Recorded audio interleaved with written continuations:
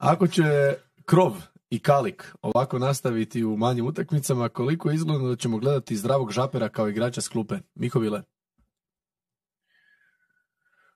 Pa ne znam, ja mislim da tu ima dovoljno minuta za sve, da ima minuta i na stoperskim pozicijama, da povratkom dijala pa eventualno i tom nekom dodatnom ulogom e, Hrgovića da tebi te neke fluidne formacije gdje ti izlačiš zadnjeg veznog kod dodatnog stopera Žaperu jako olakšavaju put.